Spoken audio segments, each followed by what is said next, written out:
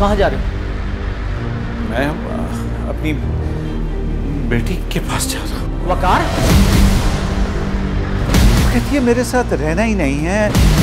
बेटी मुझसे नफरत करती है। What?